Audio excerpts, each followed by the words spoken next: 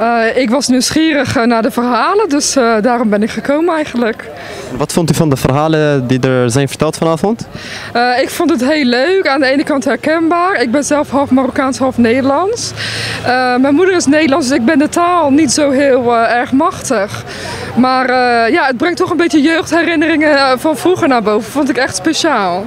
فنس داكش نفار شوية دي أيت مثلا توري قلنا جيرت أنا نفار شوية دي موزيكا شوية نتكسيسي Ja, ik hoop het. Hoe meer leuke dingen, hoe beter.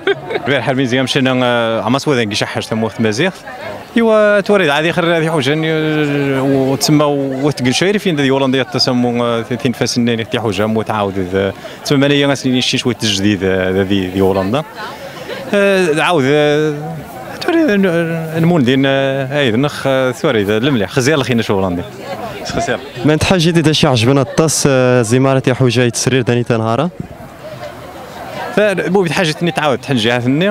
أخ اخ تحنجي ثني ركسان شوش يسيس الناس انه تورد الشيء المهم. جيب أخ مرة تعاود سمازيخ ماشي المهم. حاجة تمي تعاود هولندش تيري تيري غا شوية نونت نسمعك النغني Dus manga, uh, met het houdt Solent, ze manga is nog met het houdt. Mooi. Ja. Wat vind je van de sfeer tot nu? Heel fijn. Het is heel warm. Ja, ja, ja heel gemoedelijk. En eh, wat is je tot nu toe het meeste bijgebleven? Eh, ik vind de klank van de taal zo mooi. Ja, ik zou het heel graag willen kunnen spreken. Ja, ik vind eh, van, ja, van, ik weet niet wat voor talen er allemaal gesproken werden, maar ik vind het zo mooi.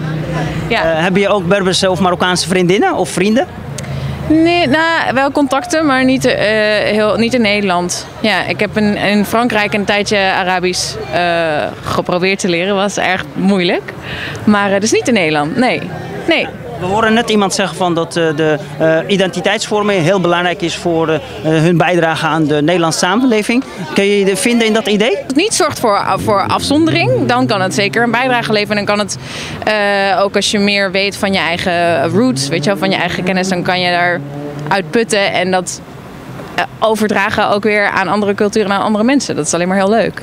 Er zijn verschillende verhalen bijgebleven. Is er je een verhaal bijgebleven?